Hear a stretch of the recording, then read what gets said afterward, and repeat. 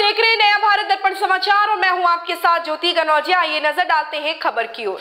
अखंड राष्ट्रवादी पार्टी के प्रदेश अध्यक्ष धर्मेंद्र सिंह भदौरिया ने जिलाध्यक्ष राहुल भदौरिया कानपुर नगर व सोनी अवस्थी को जिलाध्यक्ष के पद से निष्कासित किया गया।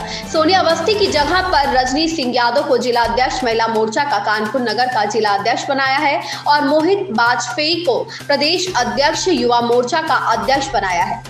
अखंड राष्ट्रवादी पार्टी के कार्यकर्ता सम्मेलन की बैठक जिला कार्यालय कानपुर में प्रदेश अध्यक्ष धर्मेंद्र सिंह भदौरिया ने कानपुर आगमन पर जिला अध्यक्ष रजनी सिंह यादव व रुमाना अली ने प्रदेश अध्यक्ष का किया जोरदार स्वागत। कानपुर में समर्थकों के साथ।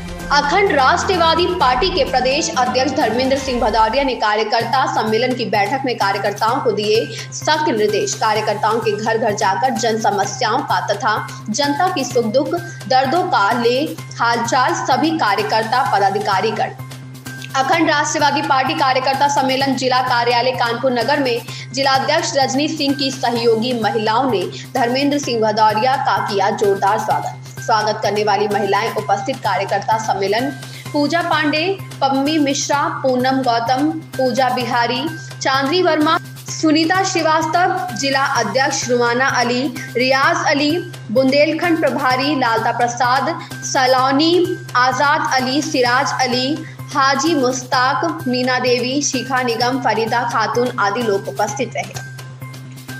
लालता प्रसाद सलौनिया की रिपोर्ट। इस खबर में बस इतना ही। बने रहे नया भारत दर्पण समाचार के साथ।